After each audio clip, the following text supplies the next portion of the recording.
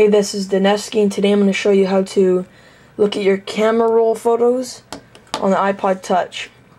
See, I go into my wallpaper, like, uh, it's a program, so you can just look at other people's wallpapers, and if you try to save them, it says add to camera roll. See, I have like 20 photos, I go to my photos, nothing there. So first what you need is Finder, mobile Finder, and you need Preview.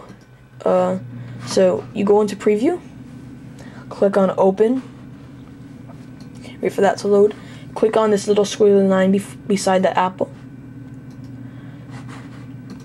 Um, go click on media, click on DCIM. One, then click 100 Apple. Here are all your photos, and uh, I'll just click on something like just an iPhone. And it previews your photos. Just show you another one.